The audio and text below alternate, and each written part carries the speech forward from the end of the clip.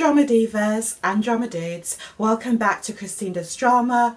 So yesterday news broke that Khloe Kardashian was on her way to the gym and Lamar Odom ambushed her. So basically he was trying to touch her and she was yelling at him to get off and I don't know, it was just some kind of big drama. So today, Lamar Odom was cornered by TMZ and he spoke out against the Kardashians and Khloe. Nobody got followed, nobody got hassled, nobody got harassed, nobody got grabbed on. Probably what's the most hurtful part is that I beat, I beat it to the punch. I didn't want to come up here. Somebody should be calling up here saying, hell no, that didn't happen.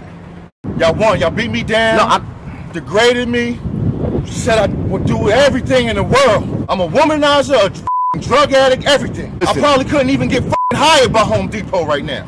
If it happens again, I will air everything out. So it's a running joke in the media that um, when you get with the Kardashians, they can either make you or break you.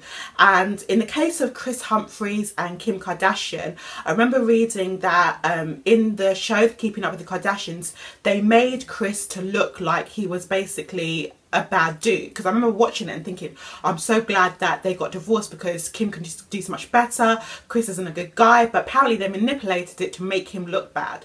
So people are saying that basically because of this whole no Kardashians for a week what they did is they told Lamar that Khloe was going to be there and then they had this big drama so that they can get back into the um, into the media, into the gossip columns.